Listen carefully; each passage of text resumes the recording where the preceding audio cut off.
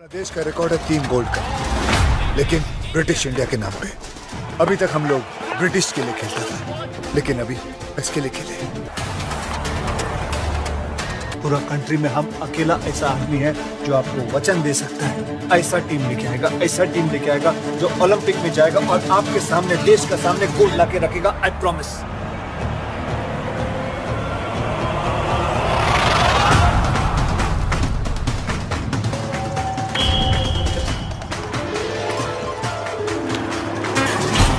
हम एक पागल बंगाली है। हम हॉकी से प्यार करते हैं। अपना देश से प्यार करते हैं।